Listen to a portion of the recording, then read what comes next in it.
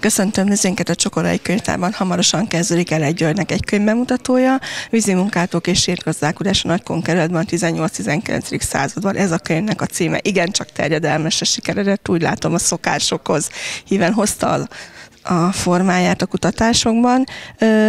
Hány év kutatása van ebben a kötetben?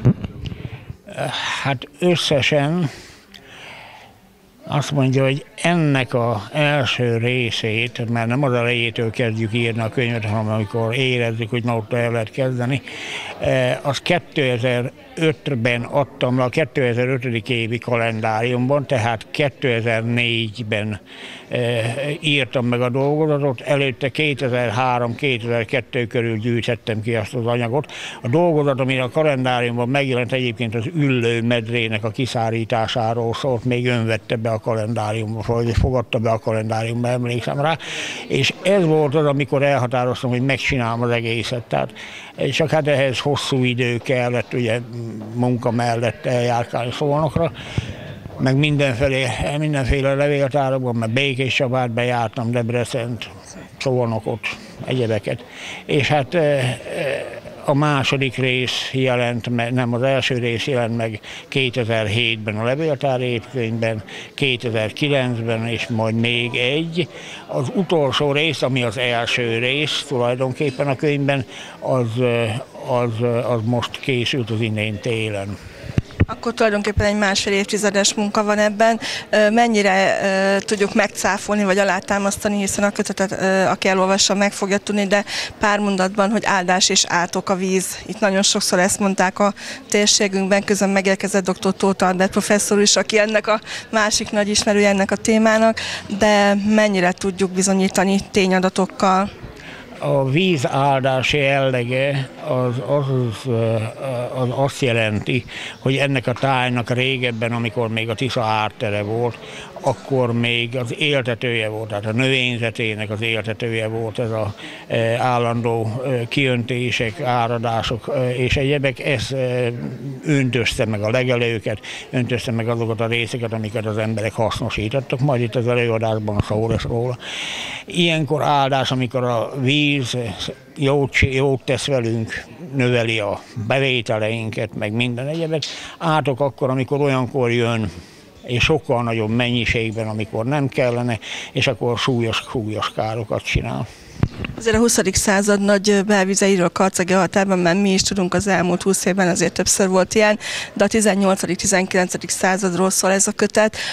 Mi az, amit kiemelne, mondjuk mi volt az a korszak vagy évtized, ami a legjelentősebb volt a víz szempontjából a térségben, és mikor volt a legnagyobb veszélyben a térség?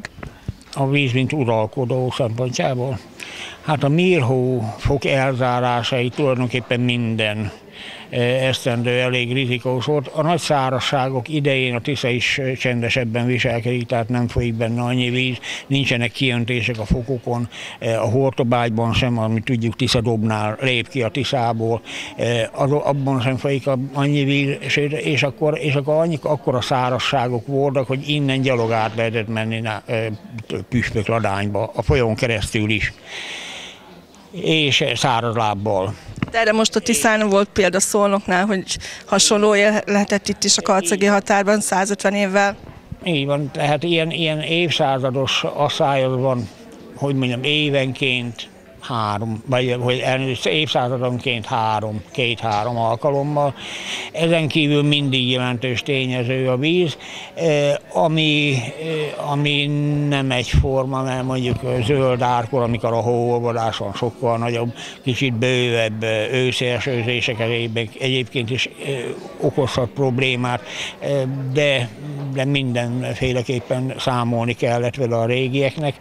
A legnagyobb galibát mondom a mi Mirhófok elzárásaig maga a Mirhó jelentette, ez 1787-ben véget ér. A következő nagy időszak, amikor a víz sok-sokká tett, és akkor az ilyen esősebb periódus lehetett az időjárásban, ez az 1840-es évek. A 40-es évek, hogy mondjam, 39-40-től kezdődően és 4-5 éven keresztül óriási árvizek voltak. Tulajdonképpen ez az ez a árvizes időszak volt az, ami annyikát tett, hogy a nagykun városokat, amik mind érintve voltak a Tisza galibájai által, vagy áradásai által, egyértelműen Széchenyi István tervei mellé állították. Széchenyi egyébként propaganda körúton meg felkereste a nagykun városokat is 1845-ben. A következő nagy esemény, ami a vízzel kapcsolatos, az majd már a folyószabályozások után 1888-ban van, van egy hatalmas nagy árvíz. Ekkor emelik a karcagiak a Sárga Gát nevű védőtöltést a város köré, tehát a város félköré, emmel elvitte volna a várost, illetve volt még egy súlyosabb időszak 1855-ben, akkor szintén gátat épített a város egyéb munkák helyett. És hát azért gondolom, hogy majd egyszer a kutatásaival eljut a jelenig is, hiszen azért van még feladat ezen a téren is. Így van, na most a víznek a levezénylése, elvezetése, innen megszüntetése az, az egész tájat megváltoztatta. Tehát ez a táj valamikor a víz bőségre, bőségéből alakult ki. Ezen a, ezen a tájon folytak parasztemberek gazdálkodása, és amikor eltűnt ez a víz, megváltozott a táj, viszont megmaradt a, a hagyományos paraszti gazdálkodás gazdálkodás, amit akkor még nem váltott fel egy újabb gondolkodásmód, egy újabb lehetőségcsoport, amit aztán hasznosítani lehetett. De a megváltozott tájban azért sok minden érdekesség történt máig, és újabb problémák jelentek meg. Fel, kiderült, hogy a talaj a vártnál sokkal változatosabb, sokkal több problémát jelent és hát sok-sok minden érte a tájat ezzel együtt. Kialakult egy új táj, de mire ez, de mire ez hogy mondjam, tehát most ennek már megint a vége fele járunk, mert van a globális felmelegedés, vagy az, vagy az éghajlatváltozás, és azt hiszem, hogy ezt a tájunknak ezt a jelenlegi képét ezt nem fogja konzerválni 50 évig sem. Hát én azt gondolom, hogy érdekes előadást hallhatunk hamarosan, és hát várjuk a folytatást, hogy a 19. a 21. századig is megnézzük, hogy, hogy hogyan is alakulhat majd a táj, hiszen ön mondta, hogy nem egyszerű a helyzet a jelenben. Én dr. Tóth Albert biztatására majd folytatni fogom ezt a, ezt a feltáró munkát, ami ilyen enciklopédikusan, ilyen folyamatában igyekszik vizsgálni a kérdés. Hát egyéb jellegű kutatásaim mellett azért ehhez sok idő kell, de igyekszem mindig résen lenni és nyakon csípni azokat az adatokat, amikhez majd ezek a, ami ezekhez a következő munkákhoz már jól, jó lesz, vagy felhasználható lesz. Nyakon csípni szót most megragadom öntől, átveszem, és azt gondolom, hogy az lesz a jó, nem csíp nyakon, vagy nem csap nyakon bennünket a víz, az sok ár, elkerül bennünket a sok-sok belvíz, de hát azt gondolom, hogy ez egy nagyon összetett probléma, és ez külön óránkig lehetne még erről beszélgetni. Úgyhogy én jó munkát kívánok önnek a következő kötetekhez. Nagyon szépen köszönöm. Szeretettel köszöntök mindenkit a Dérini Kulturális Turisztikai Sportközpont és Könyvtár nevében. Az Országos Könyvtári Napok keretén belül megrendezett könyvemutató rendezvényünkön. Szeretném bemutatni önöket a könyv szerzőjét, Elek György, helytörténész, és dr. Tóth Albertet, aki biológus, tájkutató, tájökológus és a szerző vendége. És én úgy gondolom, hogy a könyvről, aminek a címe Vízi munkálatok és rétgazdálkodás a Nagykun kerületben a 18-19. században és én úgy gondolom, hogy a szerző tud erről leginkább beszélni, és át is adom a szót Elek Györgynek. Hát köszönöm szépen, rövidesen továbbadom a szót, mert úgy beszéltük meg, hogy dr. Tóth Albert kezdi. Apró kiegészítés, hogy nem csak a vendégem, hanem a kötet kiadója, az Alföld Kutatásért Alapítványnak a vezetője, eh, és valóban eh, tájökológus, biológus. Egyébként réges-régi ismerős, mert valahogy így a helytörtettel kapcsolatban engem annak idején eh, kisújszállási gimnáziumi tanárokkal voltak fel. Már gim, amikor már nem voltam gimnazista, de ott van például az éppen az imént mutat, beszéltük, hogy eh, van egy könyvem arra, ami arra, ennek az a címe, hogy eh, csak bújdosás volt életünk, a Szabó Lajos tanár úrnak, kisújszállása volt, történt tanár, meg kollégium vezető, ő neki ajánlottam. Hát körülbelül ilyesmi kapcsolat van köztünk régebb óta dr. Tóta Albertel, aki ennek a könyvnek még tanulmányok formájában a lektora is volt, vagy ugye tájtörténész, tájökológus. És hát Berti bátyám, én át is adnám akkor a szót, hogy... Hát akkor kedves szomszédváros béliek, boldog örömmel vállaltam ezt a szerepet, mert Feri barátomat már jó ide ismerem.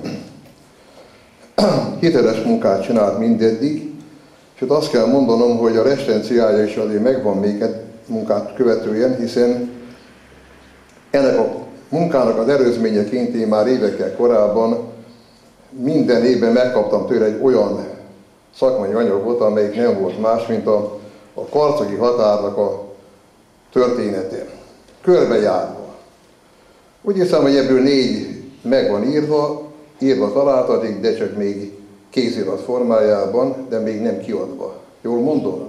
Ezt a munkát, amit a kezembe tartok, amit már többen ismernek, úgy hiszem, hogy abban a körben tartozik, ami a legjobb munkájának az egyike, hanem a legjobb munkája Ferinek, hiszen ha csak a számok alapján mondom meg a könyvnek, mik a legfontosabb paraméterei, ez a könyv 176 oldal, tehát nem egy vastag könyv. Na de ebben, ami írva találtatik, az 64 színes melléklet, ez csak inkább egy kiegészítés, de ebben, amire hivatkozik a szerző, az kereken 573 levéltári forrás. Hát a mai világ úgy ez azért csodálatos, mert a mai világ a lopós embereknek a, mondjam, közreműködésével sokkal inkább tehát azt csinálja, hogy valamit megtalált, azt valamilyen módon egy kicsit átírva magának kisajátítja, ott pedig agyba főbe hivatkozott különböző források gyanánt, mint a sajátját. Ez az irodalmi műfajnak a lopás kategóriája. Hát Feri nem így csinálja ezt. Felolvasom még egyszer a számotot, 573 irodalmi forrás, levéltári dokumentumok alapján, a mai világ azt kell mondani, hogy nagy tisztesség. Még ennek a további paraméterei, ilyen, hogy például az irodalom jegyzék az 88 hivatkozás, az sem kevés, és ami nagyon érdekes, hogy ennek az egész munkának még van egy olyan vonatkozás is, ami hát a mai világ emberének is egy fontos mankó, hogy legyen valamiben tá- módon tájékozódni, ez pedig maga tér, térkép. Hát az ő munkájában 13 olyan térkép szerepel, ami a korábbi dokumentumokban az egykori karcegi határt jellemezte. Úgyhogy Feri, ezért a dologért én azért dicsérlek meg téged, hogy az összes eddigi munkák közé ez Torin most a legjobb. Hát ez lehet, hogy ilyen formában te csak bólogatással fogadod el, pedig ez hidd el, ez így van. A másik dolog pedig, amit szószaporítás nélkül mondani, hogy ebből következik egy pár olyan dolog is, ami a te további munkádnak a legfontosabb sarkövét is jelenti. Ez a múltkutatás, amit itt fel is mivel már évek óta, hát kezdi divatba hozni, mondja ezt valaki nagyíróink közül, tehát a divatba jövetel ennek valamilyen módon egyértelmű. Na most én ezt a dolgot egy már ma kimondott mondatomba visszacsatolnám az, hogy jó, jó, rendben van, na de mi a forrás, miért nyúlunk vissza?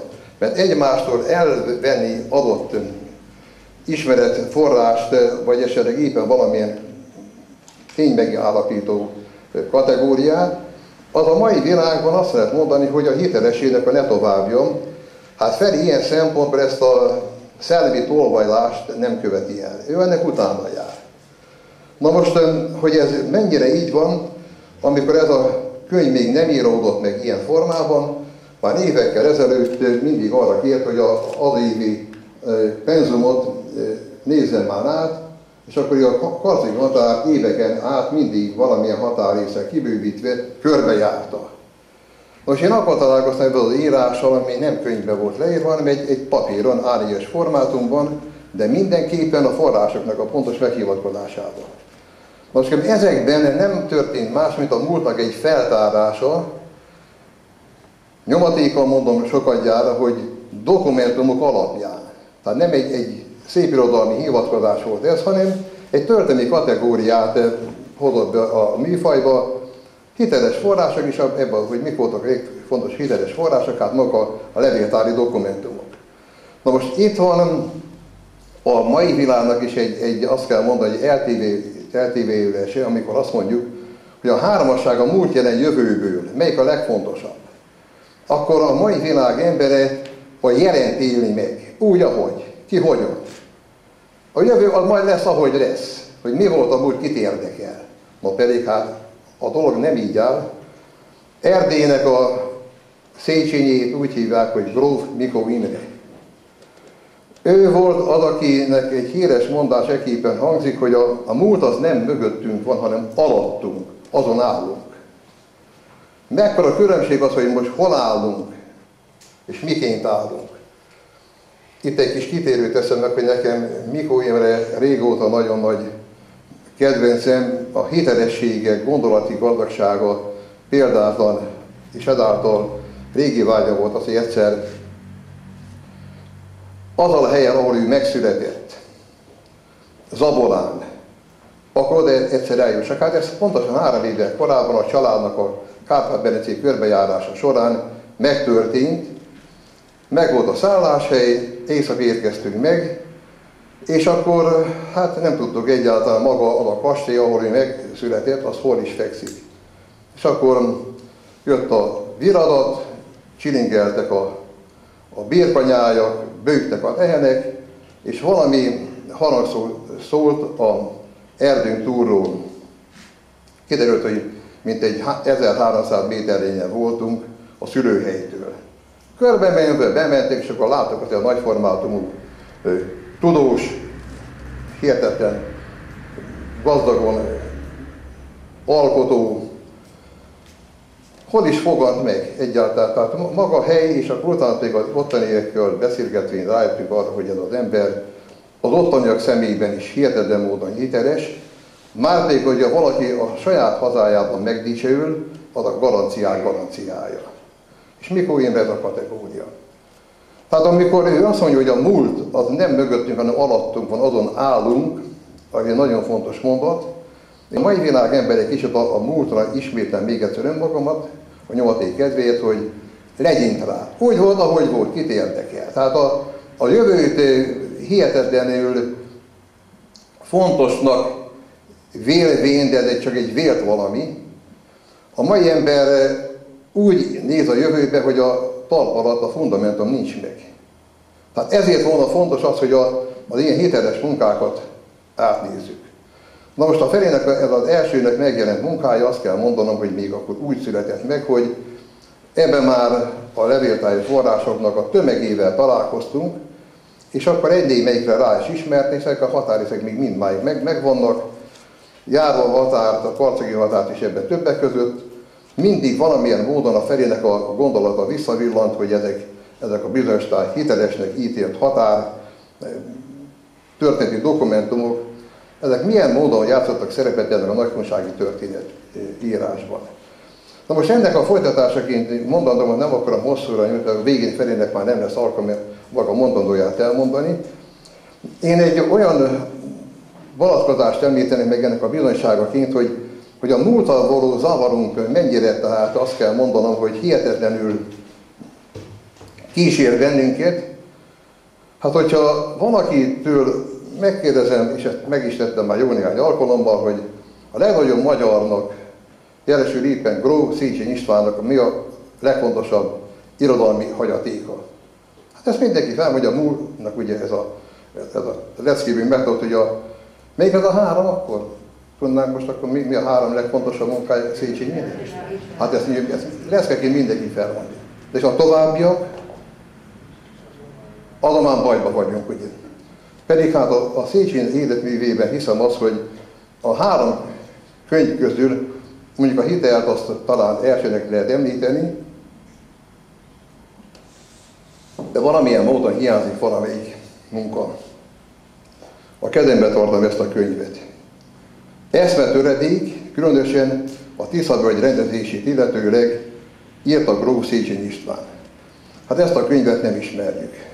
Minden sértés, minden bántás nélkül jelentem ki, hogy amikor a legnagyobb magyarnak a születésének ünnepelték, hát elég szerényen. Egy ország lakosai, ez 1911-ben volt, akkor ez a könyv valahogy olyan formán született meg, hogy valaki kitalálta azt, hogy van egy olyan munka, amely e vonatkozásban még a sorba betartozik. És ezt a Szegeden lévő Grószécsi István kör javasolta, hogy ezt adja már ki valaki.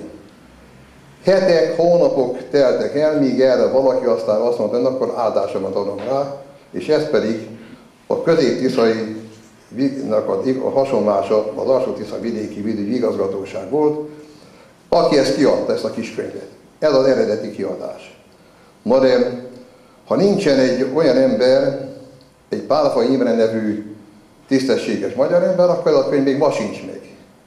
Tehát ugye ilyen formában egy, egy, egy intézetnek van másik dolga, mint ilyenekkel foglalkozzon. És akkor utána történnek az, hogy ezt a könyvet eredeti hasonlásban kiadta a kisújszállási alföldkutatási alapítvány, megkérve ennek a hiteles dokumentumát az országos illetékestől, csak azt mondta, hogy ennek után nincsenek leszármazott még olyan örökösé, akik ebben per tudnának indítani, a dolog mehet.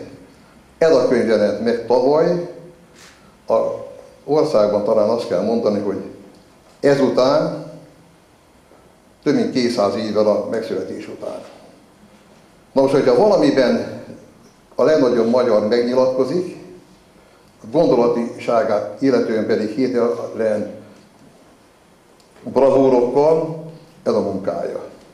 Úgyhogy én ezt majd valamilyen módon ennek szerítejtem, hogy egy adott körnek, majd valamilyen alkalommal ebből majd juttassak el, és ezek valamilyen szempontból legfontosabb intézmények az iskolák rendjének. Hogy akkor a említett hitel merje, akkor tegyük ezt akkor a forrásértékű dokumentumot. Tisztelt hallgatóság, avval fejezem be a maga mondandóját, még két rövid kis gondolattöredéket említenék meg, hogy a múltal való foglalkozás, amit itt említettem, ezt már nem ragozom tovább. Igen ám, de amikor valaki ebben a tekintetben, amit most Feri megcsinált, dokumentum, akkor igazolja hogy mikor, mit történt, és annak mik voltak a fontosabb tehát következményei. Van még ennek még mindig egy olyan hiányosság, ezt neked javasolnám, hogy a jövőben való, tehát munkálkodásodat még két irányban nyissad már akkor valami, valamiképpen.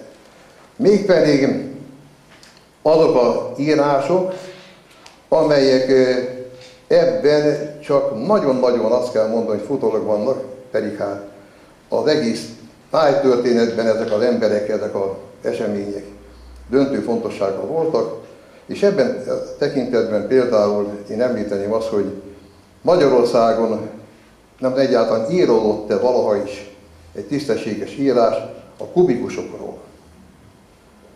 Arra a munkásokra, aki jókai szavával élve, az Isten munkásai, aki előtt azt mondja a jókaimból, amikor meglátogatja őket a szentesi határ, amikor a gátat építik a Tisza partján, hogy minden kétkezű munkás előtt megemelem a kalapon. A Tisza menti kubikusok előtt levet kalappal haladok végig. Mekkora mondat ez? Úgyhogy Ferikém, vedd be magad ebbe a témába. Hát nem csak a, a Csongrádi Szentesi túri kubikusokat két említeni, hiszen a mi vidékünkön is voltak kubikusok, akik ezt a munkát hihetetlen szorgalommal, valami erőfeszítéssel, ásolval, lapáta és talicskával megépítették. Mondok egy számot. A Kárpát-merencében 50 év leforgás alatt 6436 kilométernyi védtörtés épült meg, és akkor ez a munka kik által történt? A kubikusok által. Úgyhogy jövőre mezőtúron rendeznénk egy konferenciát a kubikusok emlékére, Majd nektek is pedig én, mert ezek híradással, aki gondolja, oda eljön. Még vannak élő tanúk, tehát a nagyja, a leghatalmasabb munkát elvégeztek, már elvégezték ezt a munkát, még Széchenyi István korában. A Tisza, a Körös, a Maros, a Túr, minden egyes tehát folyónak a mentén. Ugye ez mindenképpen restanciát igénylő dolog.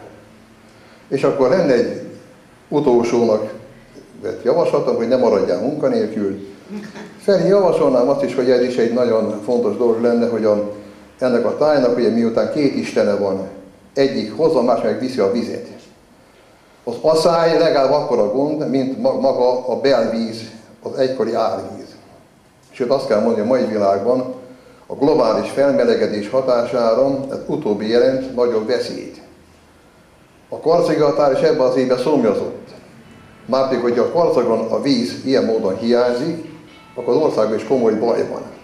Tehát ennek az egésznek a, a feldolgozását ne kéne akkor olyan formában akkor énekelni, hogy a jövőben mi legyen a vízzel, és ami szerencsés jó jel, hogy a rizs, mint vízvisszatartó, az indiáris, ami karca központtal Európában unikumnak számít, ennek egy lehetőségét is kínálja. Tehát akkor ezeket is majd meg kéne énekelni a jövőbeli kilátásokat illetően, mert ezek úgy hiszem, hogy fontos feladatnak ígérkeznek ránk nézve mindenképpen. Ezek lettek volna a magam mondjam azt, hogy innen plagizált szavából eszve töredékeim, hogy akkor ezt a dolgot akkor ilyen formában Ferivel akkor képekkel kiegészítően, akkor folytassuk. A meghallgatást megköszönöm. Ez majd e, vetített képes előadás lesz, mert a könyvet ugyan már meg lehetett szerezni, e, de akivel beszéltem, hogy ne tetszett, nem de mindenki azt mondta, hogy ő még csak a képeket nézte meg, tehát ebből indulok ki, meg annak idején, hogy milyen hatások alapján olvastam el először az egri csillagokat, hogy illusztrált kötet volt, az addig kérdezgettem apámat, hogy ez mi, mi csinálnak, hát várostrom. Nem értettem, és a apám, amikor unta mondta, hogy olvasd el, nem mondok semmit. Úgyhogy most egy kertcsináló következik a képek alapján, amik, a, amik a kötet végén találhatnak, található. Egyébként dr. Tóta Albert határozott kérésére még nem gondoltam arra, hogy hogy ilyen színes melléklet is legyen. Na, az első, ez egy vázlat, ezzel vezetném be azt, hogy vízi munkálatokról van szó. Tehát a tájátalakítás régiségének az igénye, pontosabban a vízzel kapcsolatos munkálatok, az árvízvédelemnek a megszervezése, pontosabban az árvízvédelmi munkák itt Karcagon.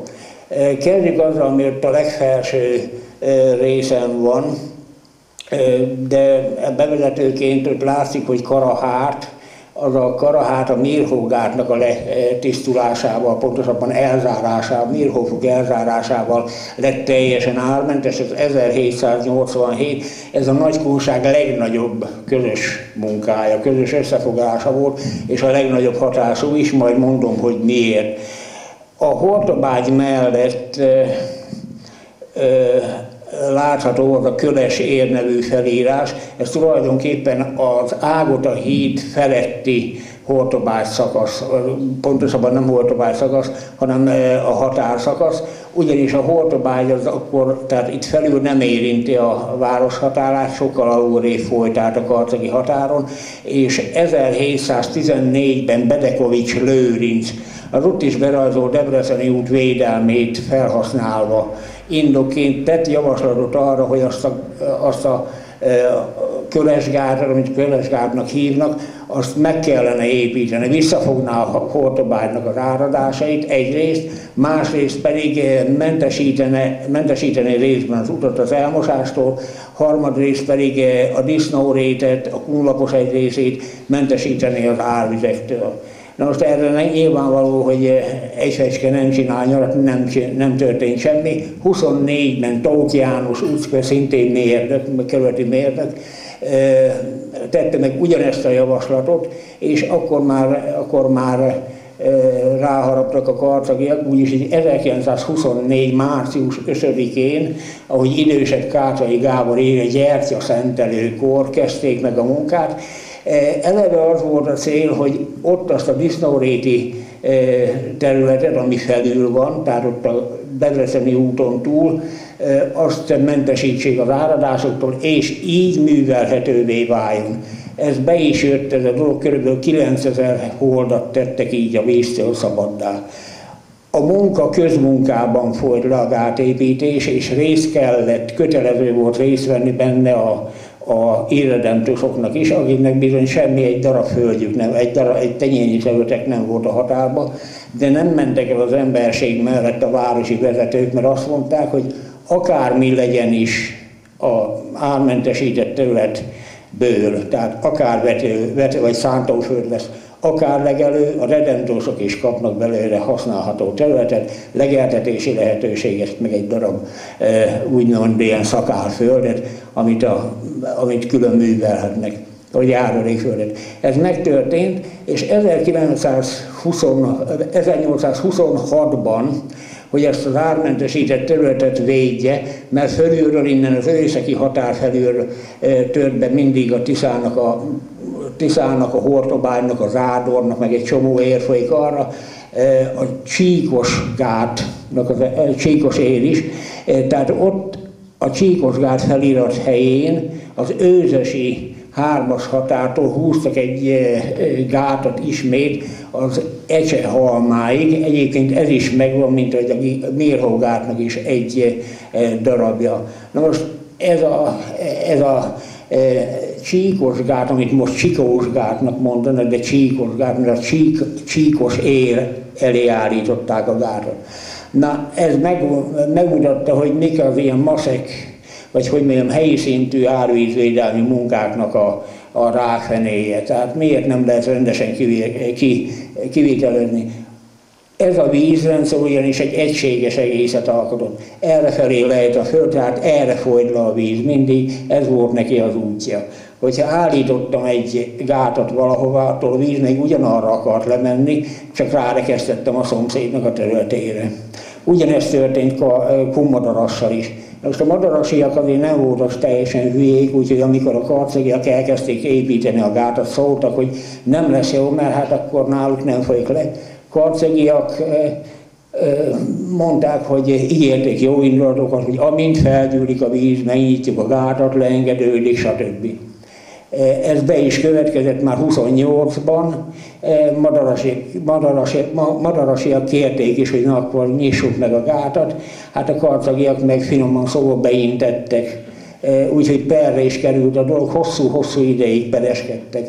Úgyhogy 1833-ban a Jászkun kerület törvényszéke elő került a dolog, de nem tudta, hogy dűlőre jutni. Karcag a késő ráját, ugye, úgy ugye 34-ben leégett a város egy része, meg, meg nehezebb időszakok jöttek, úgyhogy elhúzott a fene tudja, hogy meddig, és még most is tartana, hogyha azért nem, nem rendeződik a dolog. De a gát, az mondom, megmaradt, és az a felszabadult terület is teljesen jó volt. Nyilván, hogy a, hogy a terület egészét csak is a Hortobárnak a gátak közé szorítása rendezte. Nagyobb beavatkozást jelentett még, ott a Debreceni út mellett, ott el kell mondani, az a mostani az az út, amin kimegyünk az Ágotára. Na most az azon átfolyó vizek sokaságát mutatja az, hogy azon a részen nem csak egy híd volt, azt tudjuk, ez most az, Ág, az Ádor híd, hanem öt darab híd volt. Négy, három fából készült, és kettő pedig téglahíd, az aranyos híd, az aranyos ér hídján ugyanis egy bordolatú téglahíd vezetett, tehát a másik a kilenc bordolatúnak épült zárdorhíd, a lőzéréren, az ün erén, meg a ködmön éren, meg, meg fahidak vezettek át. A ködmönérnek a mélységét meg lehet látni, ugyanis a borjú dűlő, meg az egyes csatorna között van egy ilyen nagy mélyedés, hogyha valaki megy a katolikus temetőbe, az biztos, hogy érinti. Na, az a, ott folyt el a ködmönér, annyi megmaradt abból a darabjából. A többieket, a többieket meg útközben találjuk, de majd látjuk, látunk róla majd kép, tehát korabeli képet. A másik nagyobb beavatkozás volt, ami az árvízvédelemmel kapcsolatos is lehetett, a szabadott vonal a Debrecen-Szolnok vasútvonalat jelenti. Ugye a töltése révén ez árvízvédelmi funkciókat is ellátott. Tele volt ugyan átereszekkel, mert a vizet nem lehetett feltartani, de zömmel az alulról érkező áradás mind megfogta. Ugyanez a helyzet, ott van a, van a vonal, most menjünk egy kicsit feljebb, lejjebb, lejjebb, na. Igen, a Kara János mocsár, azon egy hírhedetten rongy út vezetett keresztül, egy vizes terepen, földből készült út. Magyarul, hogy Györfi István megfogalmazta, sárt hánytak sárra. Na most, hogy ezt a szörnyű utat azért mégis lehessen használni, az alulról, a Beretyóról érkező áradások miatt csináltak hozzá egy gátat, egy útvédő gátat. Ez egyébként a régi négyesnek, tehát a négyes számú útnak a jelenlegi szakasza simán felismerhető rajta. Ott jött el, és úgy húzták majd később végig a, végig a vasútvonalat. Na most a kummadarasi határon emelt Karcagi gát példáján Kisújszállás nemes városa, és kitalálta, hogy ő is csinál egy gátat a maga területén, a karcegi határon, az arra lefolyó vizek elébe állította, mert Kisújszállásnak azért lényegesen kisebb határa van, mint Karcagnak, és hát nekik a főkaszáló területeiket rendszerint óriási hosszú idejére borított a víz, tehát hasznavehetetlenek lettek. 34-35-ben, 1800 34-35-ben meg is csinálták a maguk gátját, kb. 3 km hosszan, és funkcionált is, de a karcagiak az esős idő beindultával vették észre, hogy gyűl a határon a víz, nem folyik le, végignézték mind az összes medret és egyebet, és hát kiderült, hogy a fránya kisújszállását gátat építettek, Előbb ők is felszólították a kis újszállásiakat, de mindenféle eredmény nélkül erre rámentek a gátra és széthányták. Úgyhogy kis újszállásiak később megcsinálták a gátra egy kicsit beljebb, hogy ez már birtokháborítás legyen, és fegyveres, fegyveres őrök őrizték az esetleges asztaticitás miatt. De azért érdekes volt, hogy hogy a víz mennyire felbőszítette az embereket, mert kisújszálláson lakott a nagykunkapitány, tehát e, ilyen rebelliókat az ő tudta nélkül nem lehetett megcsinálni, még eltagadni sem. A többit azt majd látni fogjuk, a vízzel kapcsolatos a villogó csatorna, ami nem olyan nagyon régi, 1939 után kezdett épülni, és ez már egyértelműen belvíz elvezetés, meg van még egy csomó csatorna. Na most azt tudni kell, hogy a karcagi határon a Hortobágy folyó, amikor még folyó volt, nem ilyen csatorna, mint most, átfolyt.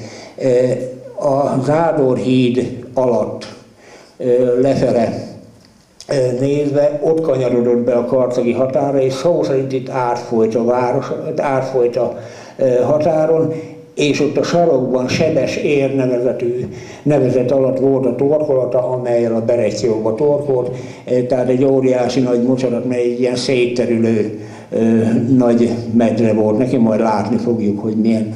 Na, nézzük meg akkor először, hogy beszéltem a Mirhó gátjáról, ez, ez Szalók és Taskony között lépett, volt ez a, ez a fok, amin a Tisza rendszerint kidobta magából az óriási mennyiségű vizet, és ez a kiöntés Kunhegyes kisújszállás Karcag városok között határán.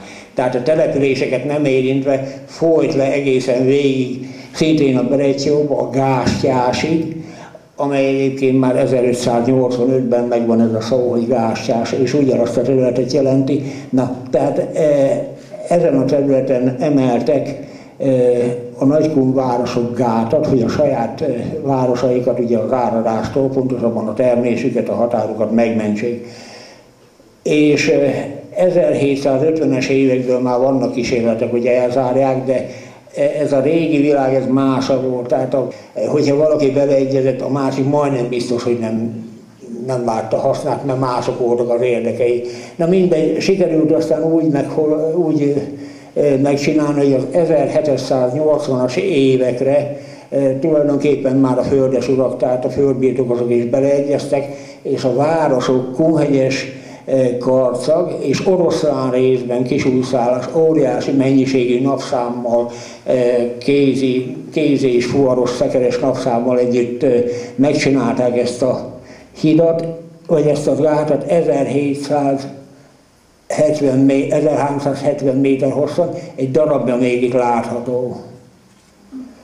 Na, az Györgyi Sándor most ki, nem mint nagy kunkapitány van a képen, hanem mint annak az emlékkőnek az alkotója. A követ egyébként 1980, 1987-ben a gát elkészültének 200 éves évfordulójára emelték. A hatása ennek a gátnak óriási volt, kimutathatóan a nagy, tehát a két város határán.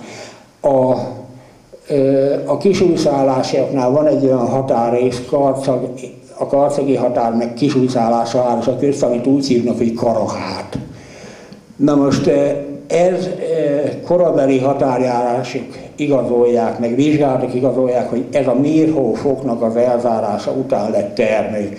Hatalmas mennyiségű terület szabadult fel, és hát gondolom jelentősen növelte az ottani szántóterületet a zöldes színű rész, ez a határrész a Kölesgát elkészülte előtt. Látható, hogy a zöldes rész az a vízzel borított, a vízzel időlegesen eh, elborított területet jelenti, és mindenféle eh, mindenféle szigetek, egyebek állnak, vagy merednek ki belőle, meg a kunhalmok, azok szép, eh, szép, sötét gömböknek vannak ábrázolva, majd ezt nézzük meg jól. Ez egyébként itt a kisgörgető, meg a, e, meg a kis, a kisgörgető, meg a nagygörgető halom, nem a kis a térképkészítő eltévesztette, de ez ott megy ki az út,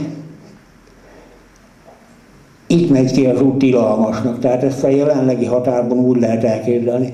Ez a halom, ez meg az asszonyszállási határrészbe esik, és hogyha váltunk egy képet, mindjárt meg is látjuk, hogy milyen lett ez a határrész a, a vízszabályozás után.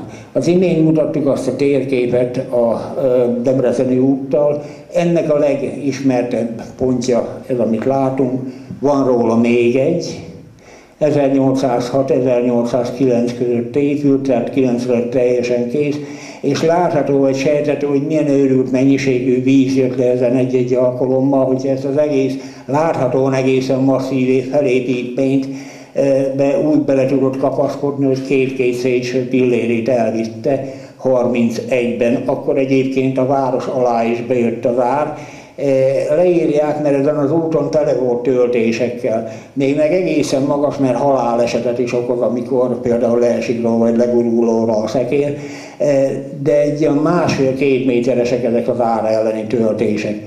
És eh, van olyan, hogy ezt a 31-es, 1831-es hatalmas árvizet annyira magasra felkorbácsolja a szél, hogy ezen a másfél-két méteres töltésen átbukik úgy mondja a korabeli leírás, hogy meghágta a, a töltés, tehát átesett rajta a hullám, átfolyt rajta a víz, betört a városba, és akkor eljött Karcegig, és ott a keleti oldalnak körülbelül 60 házás rongálta meg egészen súlyosan. Utána emelték a Kungátnak nevezett gátot ezzel a város alatt. Ez itt a ágot a ez a Debreceni út, ahogy megyünk tovább, ezt a képet Hangyási Attila most készített a kérésemre a, a könyv számára, még a tavasszal. Ebből látható a régi Debreceni út, vagy elképzelhető a régi Debreceni út minősége. Annyi különbsége, hogy akkor még nem ilyen széles keréknyomok voltak benne, hanem ezek a szekérkeréknyomok. De maga a, a, a kép nagyon ott van, mert körülbelül ilyesmi lehetett a fogadó idejében ott lévő jelzem püspökladányi tulajdonú vendégfogadó fennállása idejében is, hogy egy kicsit összehúznánk a képet, láthatnánk a halmot, ott van mellette, majd még lesz a másik oldalról is. Na és akkor most jön asszonyszállás, az az arról a haromról, amiről szépen körül lehet nézni.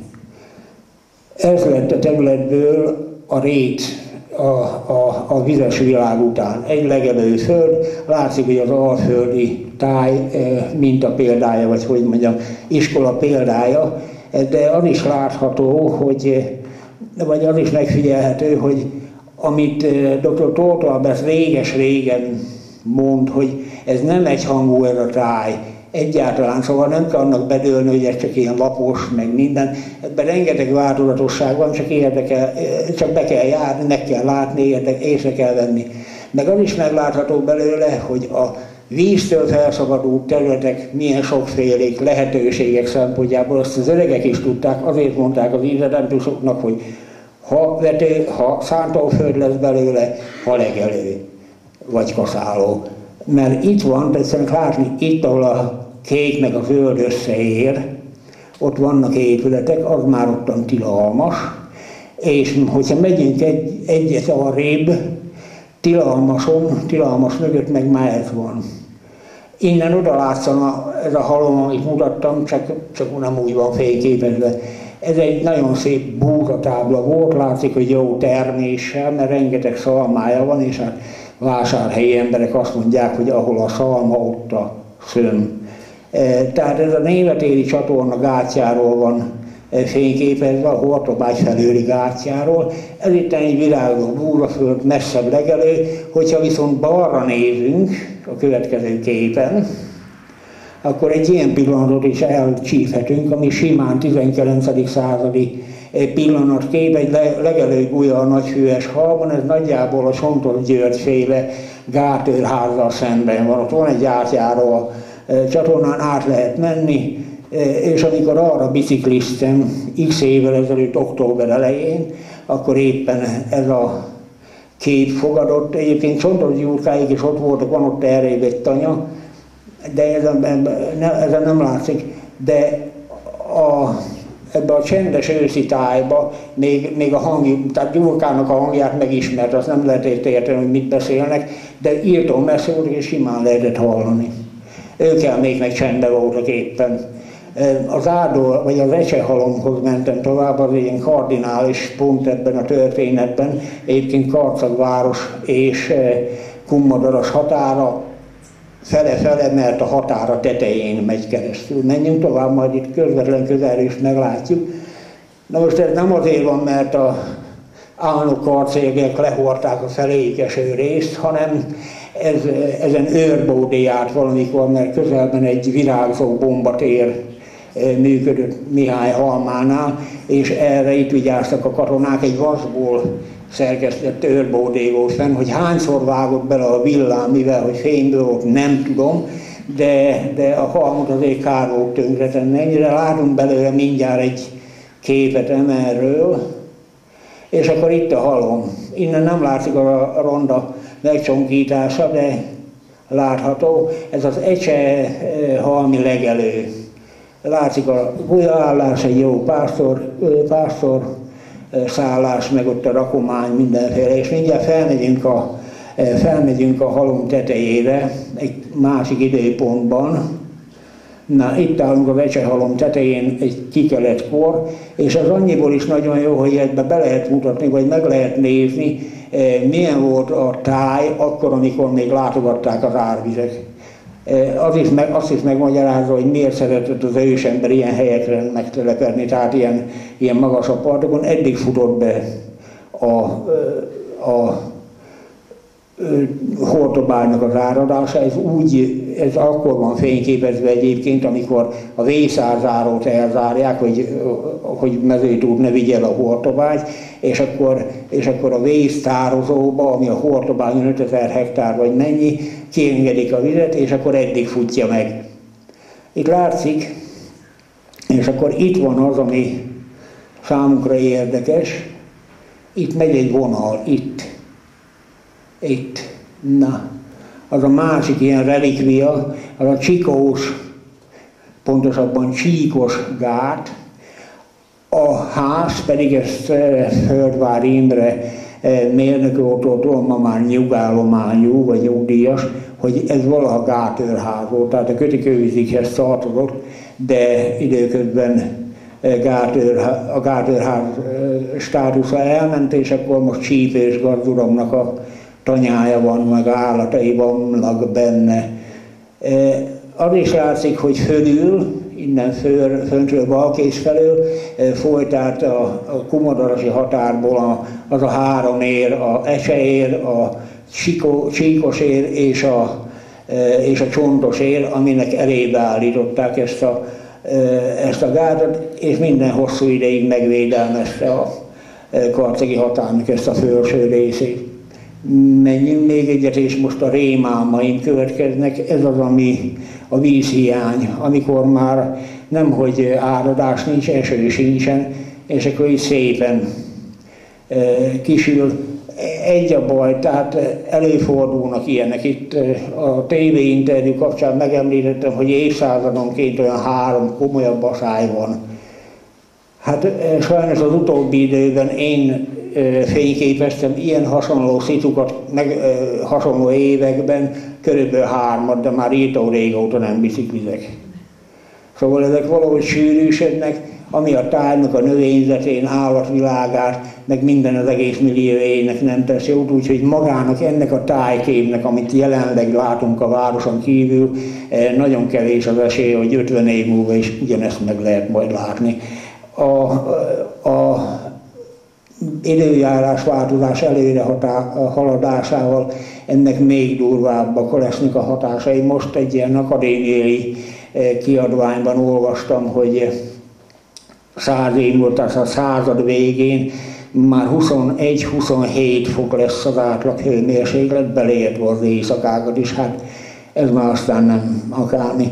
És hát mondjuk ennek a változásnak nem lehet elé tehát ez tőlünk független. Lehet, hogy nem lehet eljárni, ez változik, de fel lehet rá készülni. Ebben viszont valahogy nem vagyunk túl jók, még, még egyelőre. Lehet új fafajtákkal kísérletezni, és minden olyan szárazságtűrő növény, aki ebben megváltozott környezetben e, tud e, létezni, hogy ne legyünk olyanok, mint mondjuk a góbi sivatag. Rétgazdálkodás, mi a rét? Tehát nem az a fajtájú rét, tehát ezt is kaszálták, meg ezt is hasznosították a növényeit, de ez, ez, ez, ez a mocsaras rét. Tehát az, amikor megfújtja a határra a, a áradás, itt marad bizonyos ideig, és ez az állandó sekély víz, az állandó sekély víz jelenléte, az, ami meghatározza a növényeit, vagyis vízkedvelő növényekkel borított terület. Na most ezt is lehet hasznosítani az idősek, tehát a öregek, vagy a 200 évvel ezelőttiek, meg a még korábbiak nagyon jól hasznosították, csak meg kell várni, hogy amíg letisztul a víztól. Ez nem mindig egyformán következett be volt, amikor augusztus 24-én, holott kaszálni már június elején bőven szoktak, amikor a fű megnő.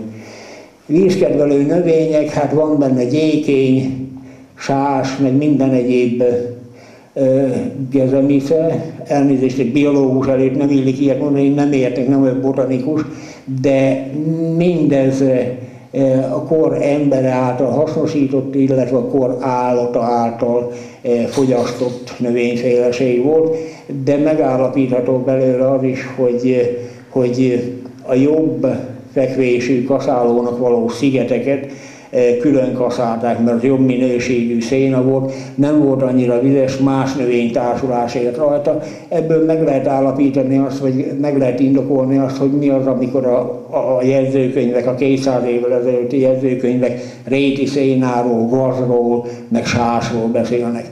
Egyébként voltak nagy összefüggés, nagyon jó minőségű nádasok a határban. Valamikor a kartagi határól 75 ezer kéven árat vártak le egy télen. Ez óriási mennyiség volt is keletje, mert tetőfedésre, kerítésnek, építkezések, tüzelőnek mindenhez hasznosították. E, itt nem sikerült olyan képet szereznem, de, e, de itt van ez. Ott van a gyékény, ebből kosarat fontak, a gyökeréből, amit Györfi István megénekelt, hogy a dengyele, a gyékény lisztes gumója, hát a gyékénynek nincsen gumója, hanem gyöktörzse van, de valóban, eh, valóban fogyasztották, eh, szükség, ínsége volt.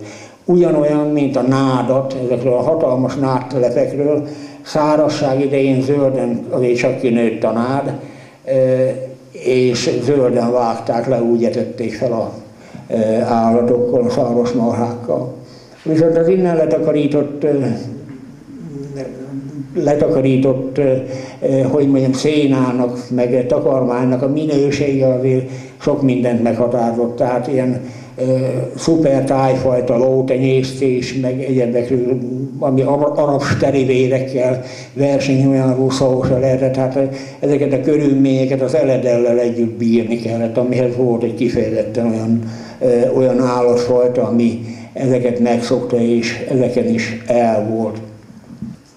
Ígértem hortobágyos képet, nagy, ö, ö, nagy eredmény volt akkor, amikor ezt a folyócskát sikerült, ami itt elég elegáns kanyarral jön elő a karcegi határszélre, Ágotához, nádudvari területről egyébként, mert ezen óriási mennyiségű víz tudott lejönni. Ha megyünk egyet, azért látszik, hogy már egy gárda közé szorítva és ki tudott tűnteni, ez egy őszi áradása. A tetején, a, vagy a fölül a két felső részén a rágóra halon az elmaradhatatlan villanyoszloppal. Nem tudom, a határon nem le, alig lehet olyan képet csinálni, ami ne legyen graut vagy villanyoszlop.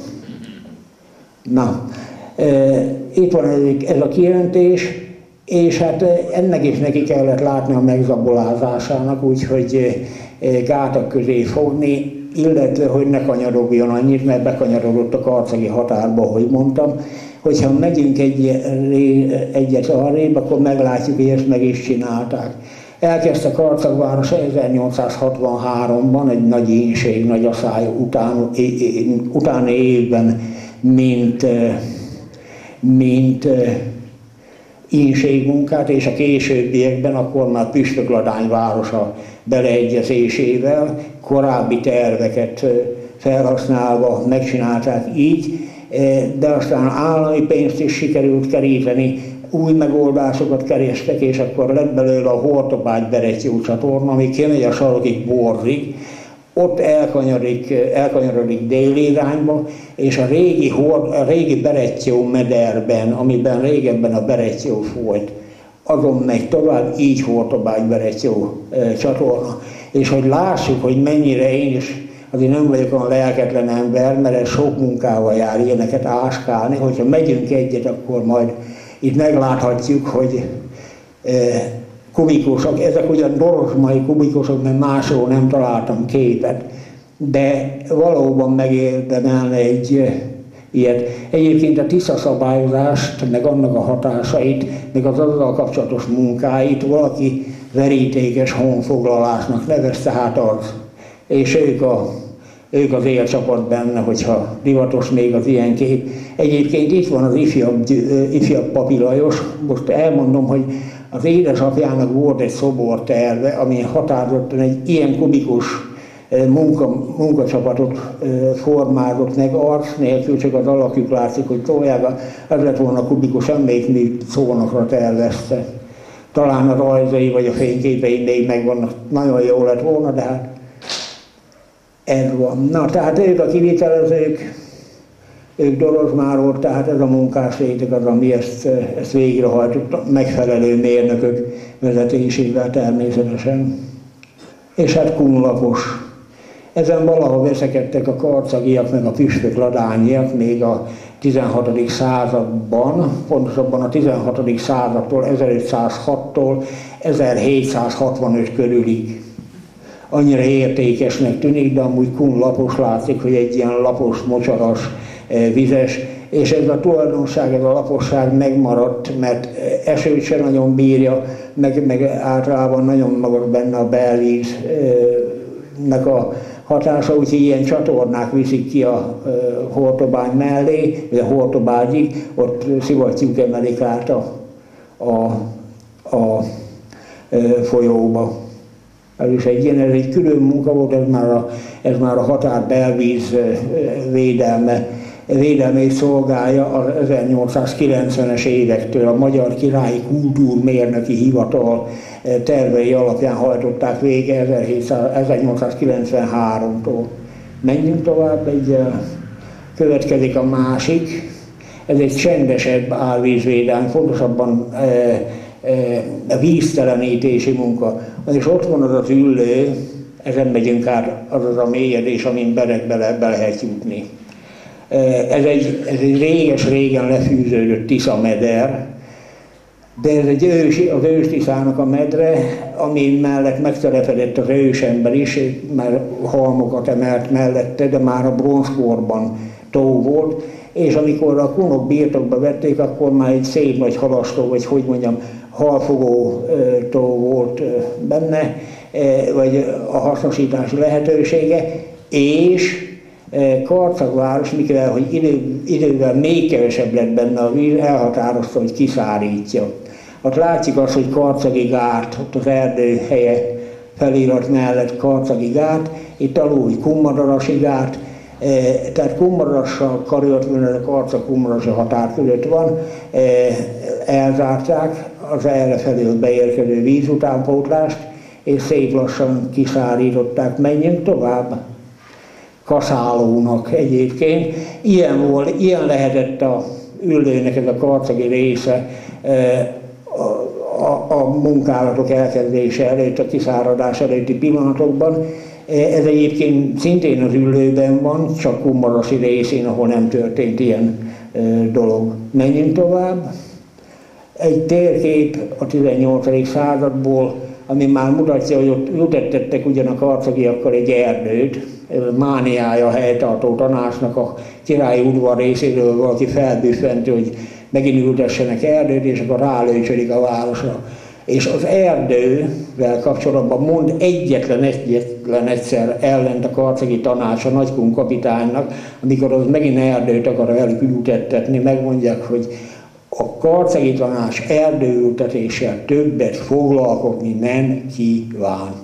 Nem is erőlteti rájuk illési, annyit rendel el, hogy az egyetlen megmaradt erdőt, az áldori erdőt, azt nagyobbítsák meg. Na, itt már látszik, hogy egy ilyen zombékos, de már kiszároló félben levő mederről van szó, ami, hogyha ránézünk a következő képre, az mai napi hasznosításában sem más, mint kaszáló Hubai úrnak a, a szénája az nagyon jól mutatotta ott a üldő part, vagy az üldő medrében, hát előtte kukoricaföld és villanyos lopok.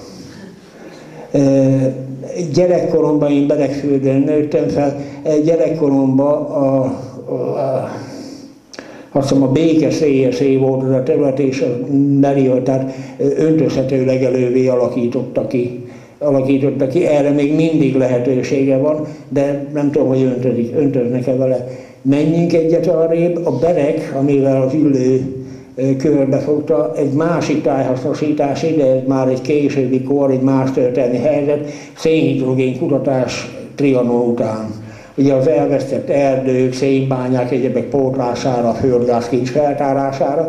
Na, Berekben is volt egy fúrás, és 1928. január 24-én így tört ki a forró víz meg a gáz, és hát ez újabb irányt adott a térségnek a fejlődésének, amit megláthatjuk, hogy mibe torkolt végül, mert létrejött a, létrejött a világ legszebb települése, kis települése, és látható, hogy ott egy egész falu van bejebb, belegfürdőnek hívják, valaha üveggyára is volt a gáz révén, most már a fürdőből település nagyon agilisan és nagyon, nagyon jó. Na hát ez a felső rész visszafele megyünk az óramutató járásával ellentétesen a karteli határban. Egy szép kunhalom, ami sokkal magasabb volt ennél, ez a Gergely halom, Karcag, kisúszálás, Karcag, Kunhegyes és Kummadaras határa a régebbi időszakban Fábián, Sebesén, Kolbászállás és Bócsa. Ez egy következő térkép, hogy jövünk lefelé, visszatértünk a kisúszállási határba, és akkor itt eh, ez az, amit mondtam, ott van a kurva hát, vagy karahát, ez az a nagy terület, ami teljesen vízmentes lett a, a, a Mírhógát megépítése után. A karcagi határ szélen itt Egészen pontosan nem behatárolható, hogy hol, de ekkortól kezdve tűnik fel, amit úgy hívnak, hogy borda rét. Ez, ez a borda, mint a városi nóbordák általában egy kis olyan vizenyős, de azért még elfogadható minőségi helyet jelent. Ezt évenként újraosztásra adták ki, elég nagy terület, mert rengeteg sok mindenkinek jutott rajta föl. Van ott egy ilyen érdekes terület, hogy vajas, ennek külön fejlődés története van a karcégi tanyavilágon belül, és van egy olyan, hogy ravasjuk, az a, az a hosszú hármas határ, így hívják mostani névvel, három határ találkozik, itt pontosabban négy, mert Karca, Kisújszállás, Kunhegyes és Leér Kendeles határa is ott található. Na ez itt a, ez itt a hármas határ, látszik a három határdomb, a Kisújszállási, a Kunhegyesi és a Karcagi. Ezek jelzik, hogy a három, határ, a három város gondját viseli. Egy szokás szerint megállapítatlan korú, korú akácfa erdővel. Egyébként, amikor a Hortobágy mellékét kiosztották állandóra az 1860-as években, néhány gazda nagyon rossz minőségi földet kapott, ahonnan egyszerűen nem tudták levinni a belvizet. Erre feljelent, hiába kértek újat, nem kaptak. Feljelentéssel értek a Magyar Királyi Bíróságnál, és akkor a bíróság ítélete nyomán kaptak földet a határ másik részén, tehát pontosan a északi határral átal ellenbe a másik oldalán a határnak. De elfogadták, és ott létrejött egy, egy kis tanya bokor, hogy úgy mondjam, a vajasi tanyák, két sorház, az ott valaha ottani lakos, illetve ott felnőtt vízkeleti palibás egyébként agrármérnök mondta nekem, hogy nagyon szép volt távolról, mert szép gyümölcsfák nőttek, jó minőségű földje van, szép gyümölcsfák nőttek benne, és szép vetemények sarjadtak mellette, csak olyan volt, mint egy szép kis falu, csak tornya nem volt. Viszont a várostól olyan messzi van, hogy inkább kisújszállásra jártak be vásárolni a borba, mert, mert kisújszállás sokkal közelebb van, tehát ez 10 km karcaktól.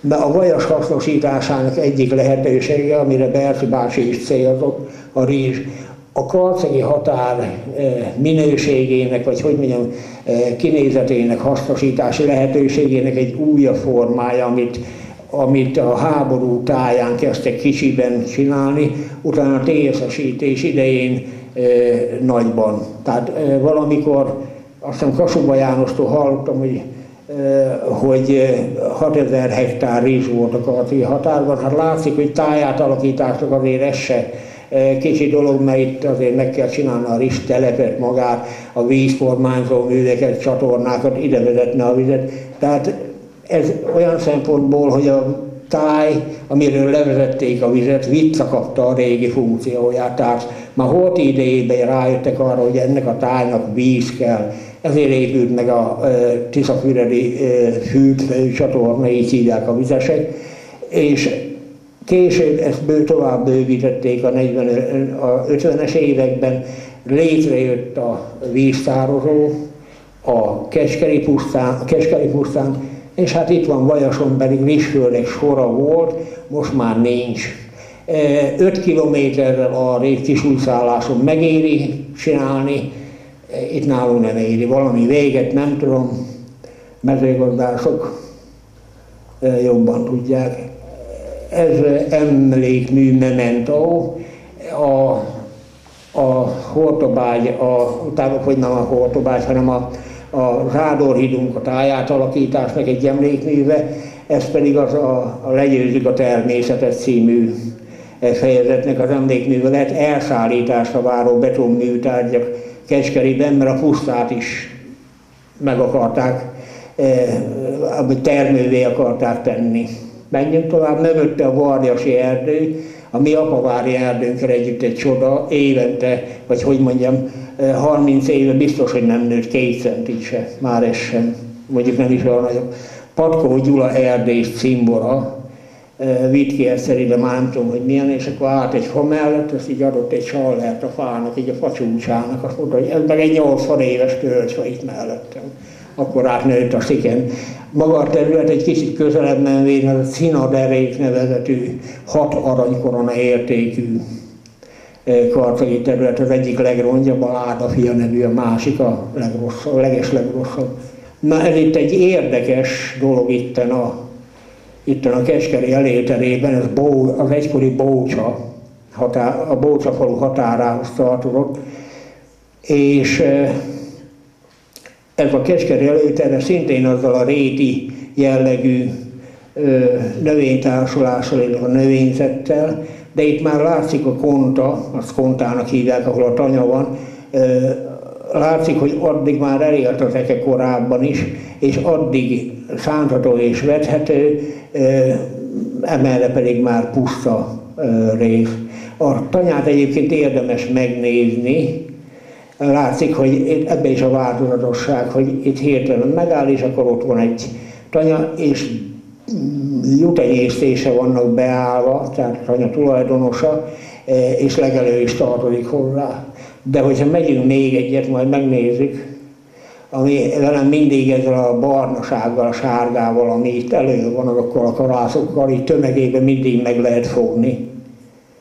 E, ilyen szép érett búzatábla van a tanya előtt, ami egyébként Eszabó György e, tanyája, aki jelen van, vagy jelen volt, úgyhogy majd a előadás után szeretném ezért a búzatábláért nívódíjban részesíteni.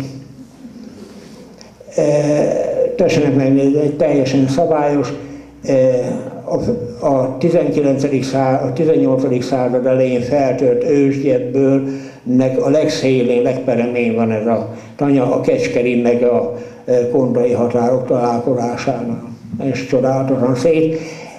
És ez a búzaföld is megmutatja ami búzának már a reformkorban híre volt, hiszen olvassuk a versetekben, hogy értünk Kunság mezején, értkalást rengettél, és hogyha, e, és hogyha ezt ennyire megérte, tehát, e, hogyha ez a, ez a reformkorban már híresé lehetett ez a búza, vagyis más eladása is jutott, akkor a karcegi határ, aminek búzatermő, tehát szántóföldileg művelhető területet mindössze 15 ezer hold volt. Az összes többi, tehát 46 ezer hold pedig rét és legelő, abból láthatjuk, hogy, hogy, hogy eladásra is jutott, vagyis a rét, ami, amit különböző legeltetéssel, kaszálással, nádvágással, halászással, csíkászással, egyébben éltek, mennyire nagy gazdasági hasznot hajtott azért mégis a kunoknak, az áldás meg az átok jellegén a víznek túllépve. Menjünk tovább. És hát itt a nagy rét, ami a, tulajdonképpen a határon túli területe a városnak, Pontosabban be lehet határozni úgy is, hogy a négyes számú főút mögötti Magyarkán túli területek.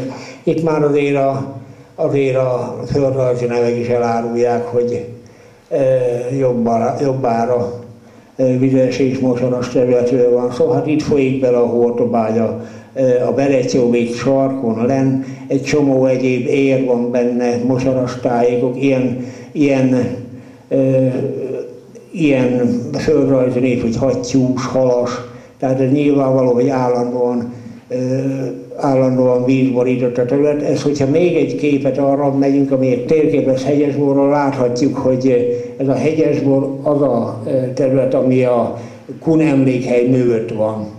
Tehát nagyjából oda fut ki.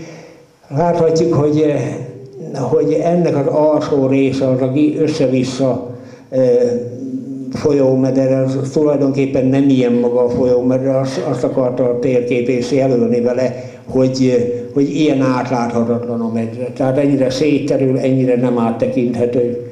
Viszont, hogyha megnézik, följebb már úgy letisztul a víztől, húzzuk, elrébb. Igen, letisztul a víztől, és akkor ott már szántók vannak, meg egyebek. Ez nem tartozott a karcegi határba, ezer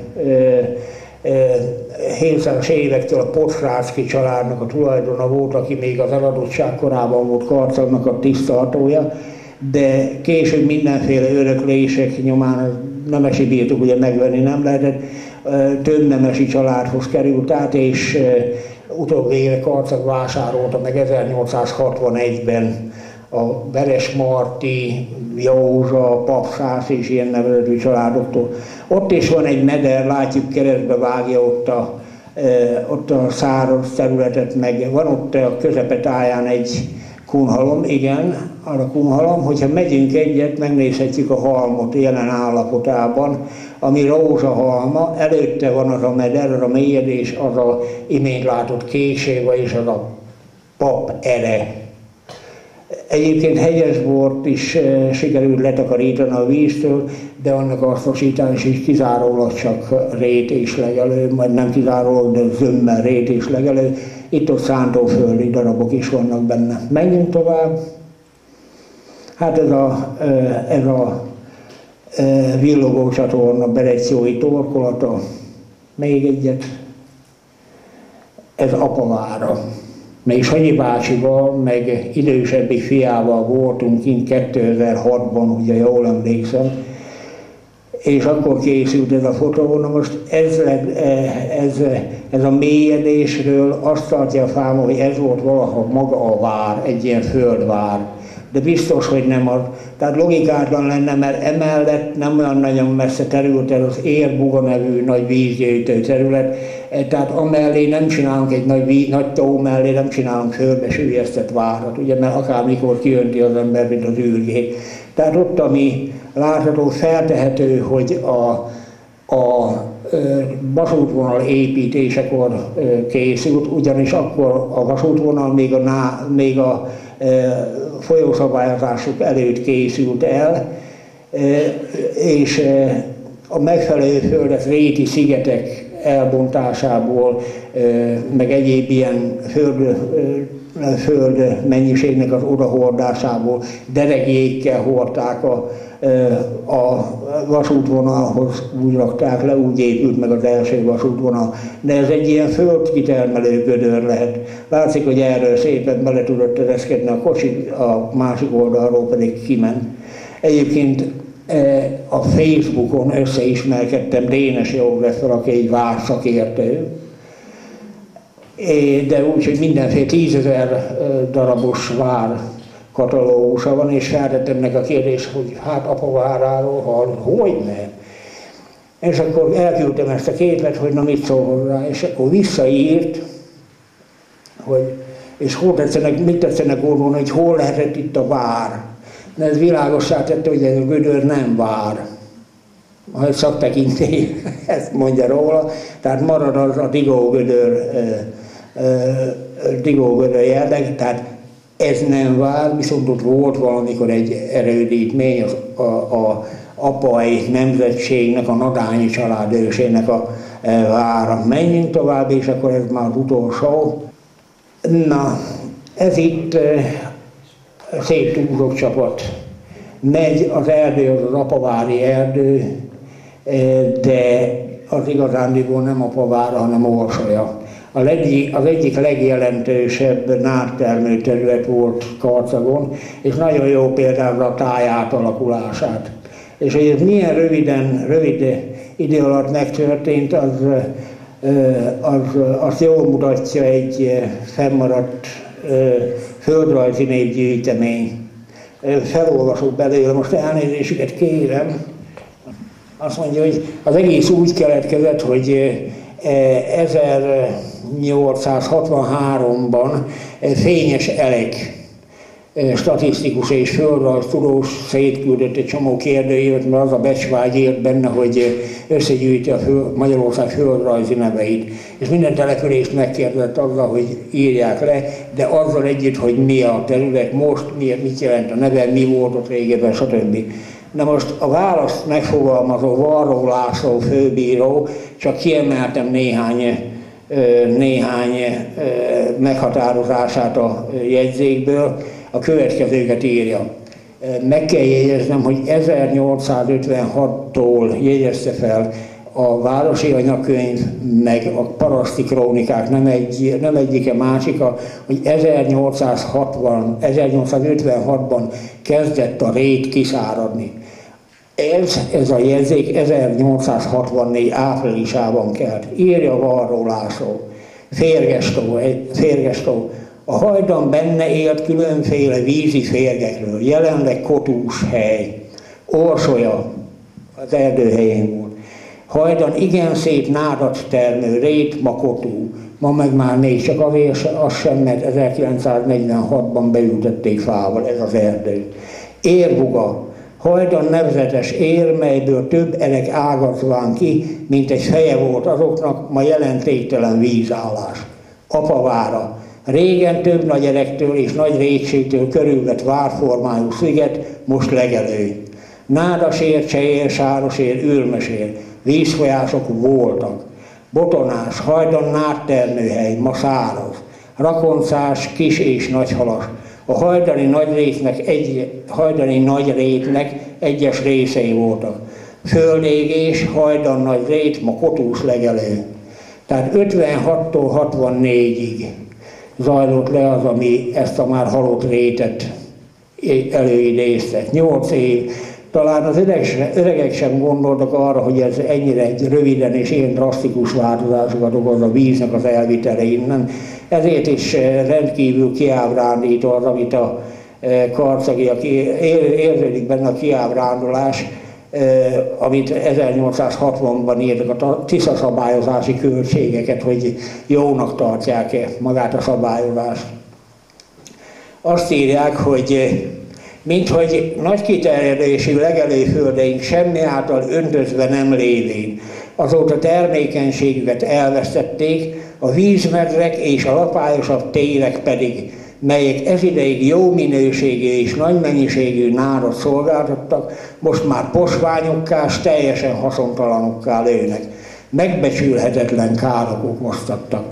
Tehát e, ezzel a csalódással járt egy ideig még a Tisza vizének az elvitele a, e, a, a nagykorságról. Egy régi gazda nemzedék is elvezette ezzel, aki a hagyományos gazdálkodási formával érte a határt, de megteremtődött az újabb. A takarmánytermelés is, meg minden, és ez hozta majd el, ez a nagy határ a továbbiakban is a városnak a fejlődését, mert ugyanis ezzel kezdődik a kapitalista korszak.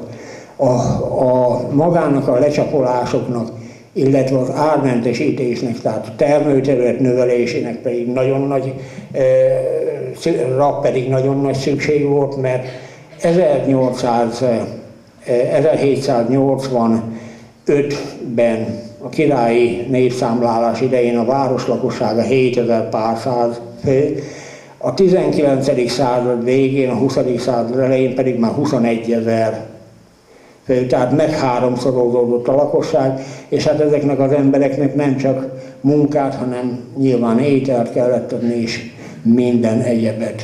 Na, hát ennyi erről szól a könyv egy kicsit bővebben. Aki gondolja, annak jó olvasást kívánok. Köszönöm a türelmüket.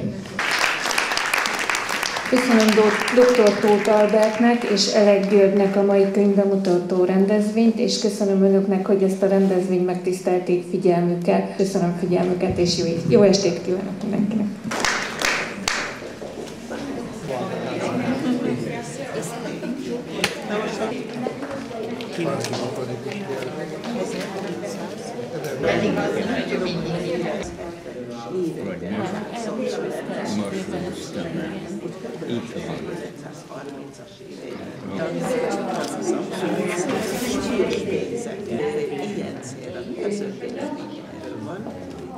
Szóval én itt egy kicsikét a. Én csak így mozgatom.